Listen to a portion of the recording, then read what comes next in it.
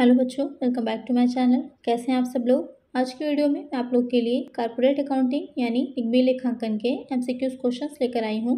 इसके अलावा और भी सब्जेक्ट पर मैंने वीडियोस डाली हुई हैं। एमसीक्यूज वीडियो डिटेल वीडियो जैसे कि ऑडिटिंग है कम्युनिकेशन है ऑर्गेनाइजेशन है प्रिंसिपल ऑफ़ मैनेजमेंट है फाइनेंशियल अकाउंटिंग है, और भी किसी सब्जेक्ट पर आप एम वीडियो या डिटेल वीडियो चाहते हैं सब्जेक्ट का नेम मुझे कमेंट करिएगा।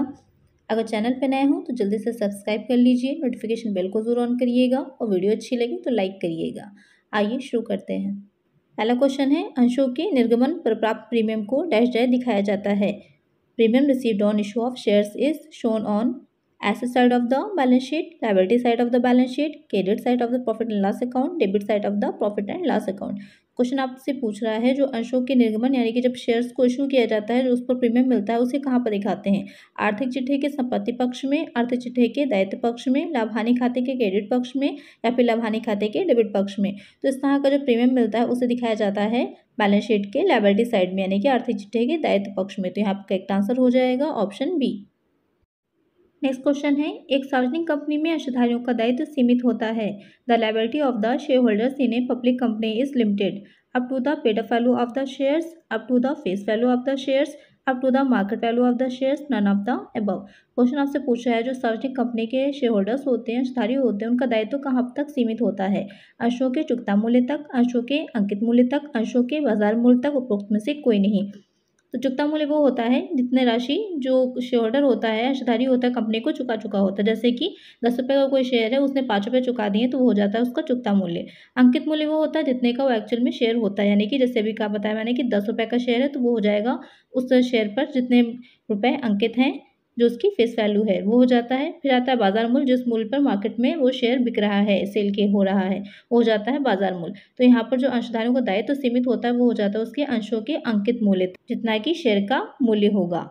जब एक आंसर हो जाएगा ऑप्शन बी नेक्स्ट क्वेश्चन है अभिकोपक कमीशन निम्नलिखित में से किस आधार पर देय होता है? On which of the following basis is underwriting commission payable at the issue price of the shares on the face value of the shares on the market value of the shares call money received on shares अब question पूछा जो अभिकोपक commission होता है under commission होता है, वो किस value पर दिया जाता है? अंशों के निगमन मूल्य पर, अंशों के अंकित मूल्य पर, अंशों के बाज़ार मूल्य पर अंशों पर प्राप्त याचना राशि पर। तो जो अभिगोपक कमीशन दिया जाता है, वो दिया जाता है अंशों के निर्गमन मूल्य पर। At the issue price of the shares यहाँ पर करेक्ट आंसर हो जाएगा ऑप्शन ए नेक्स्ट क्वेश्चन है, सभी समता अंशधारी होते हैं। All equity share holders are representative of the company the owner of the company lenders of the company customers of the company तो क्वेश्चन आपसे पूछ रहा है, जो समतांशधारी होते हैं इक्विटी शेयर होल्डर्स होते हैं, वो कौन होते हैं? कंपनी के प्रतिनिधि, कंपनी के स्वामी, कंपनी के ऋणदाता या फिर कंपनी के ग्राहक? तो जो समतांशधारी होते हैं, वो कंपनी के स्वामी ओनर कहलाते हैं। आपने पढ़ा होगा अंश दो तरह के होते हैं शेयर्स दो टाइप के होते हैं, एक हो जाते हैं इक्विटी शेयर्स तो दूसरे हो जाते हैं प्रेफरेंस शेयर्स तो जो प्रेफरेंस शेयर्स होते हैं, सबसे पहले क्या होता है? लाभ उनको दिया जाता है, लाभांश उनको दिया जाता है। और जो समतांशधारी होते हैं, उनको लाभांश बाद में दिया जाता है, उनको डिविडेंड बाद में दिया जाता है, और उनकी जो रेट होती है रेट पर डिविडेंड दिया जाएगा, ये पहले से डिसाइड भी नहीं होता है। तो यहाँ पर करेक्ट आंसर हो जाएगा ऑप्शन बी नेक्स्ट क्वेश्चन है, अधिकार अंशों का आशय उन अंशों से होता है जिन्हें right shares means those shares which are issue to the promoters of the company issue to the sellers of the company issue to the directors of the company issue to the existing share holders of the company आपको question आपसे पूछ रहा है, जो अधिकार अंश होते हैं, उनका आशय क्या होता है? कंपनी के प्रवर्तकों को निर्मित किया जाता है, कंपनी के विक्रेताओं को निर्मित किया जाता है, कंपनी के संचालकों को निर्मित किया जाता है, कंपनी के विद्यमान अंशधारियों को निर्मित किया जाता है। सबसे पहले समझ लेते हैं अधिकांश होता क्या है। आपने पढ़ा होगा जो कैपिटल होती है कंपनी की, पूंजी होती है, वो कई तरह की होती है। अथोराइज कैपिटल होती है, जिससे कि कंपनी शुरू की जाती है। आपने पढ़ा होगा पार्षद सीमा नियम, अंतर नियम बनाए जाते हैं। तो जो पूंजी कंपनी के पार्षद सीमा नियम में लिखी होती है, वो हो जाती है अथोराइज कैपिटल उसकी। उसके बाद आती है इशूड कैपिटल, आती है चुकता पूंजी, आती है पेडअप कैपिटल आती है रिज़र्व कैपिटल आती है, कई तरह की होती हैं। तो यहाँ पर जो आपकी अथोराइज कैपिटल है, उसका जो भाग निर्मित नहीं किया जाता इशू नहीं किया जाता, आवश्यकता पड़ने पर उसे इशू किया जा सकता है। तो वही जब शेयर्स इशू किए जाते हैं तो हो जाते हैं अधिकार अंश। तो पहले इन्हें किससे निर्मित किया जाता है? इन्हें निर्मित किया जाता है जो कंपनी के विद्यमान अंशधारी होते हैं। पहले उन्हें दिया जाता है। तो यहाँ पर करेक्ट आंसर हो जाएगा ऑप्शन डी नेक्स्ट क्वेश्चन है, रोकड़ के अतिरिक्त अन्य प्रतिफल के लिए प्रवर्तकों को अंश निर्मित करने पर डेबिट किया जाता है। Which account is debited on issue of shares to the promoters for consideration other than cash.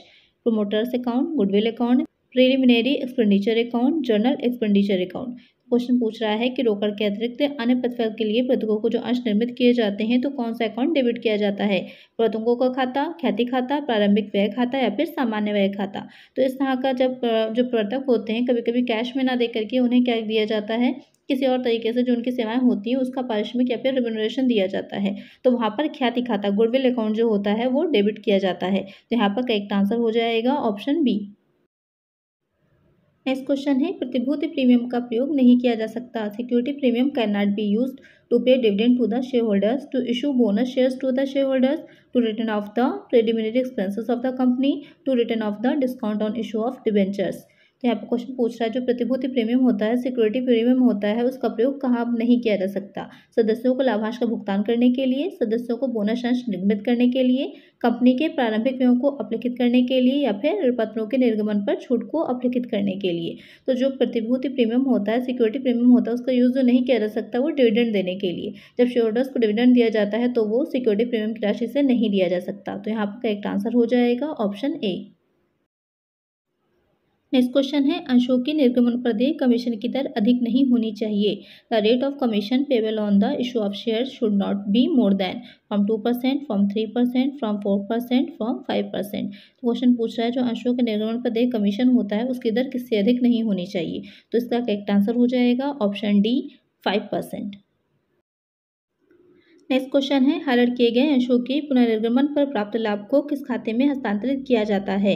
In which account the profit received on reissue of forfeited shares is transferred share premium account capital reserve account forfeiture account share forfeited account तो question आपसे पूछ रहा है, जो अंशों का हरण कर लिया जाता है, आपने पढ़ा होगा कि जब कोई शेयर होल्डर कोई अशधारी किसी भी राशि का जो मांगी जाती है, उसका भुगतान नहीं कर पा रहा है किसी याचना का तो क्या किया जाता है, उसके अंशों को वापस ले लिया जाता है। उसे कहते हैं अंशों का हरण करना। उसके बाद उसे दोबारा री इशू कर दिया जाता है, पुनर्निर्मित कर दिया जाता है। तो उससे जो लाभ प्राप्त होता है, उसे किस खाते में हस्तांतरित करते हैं?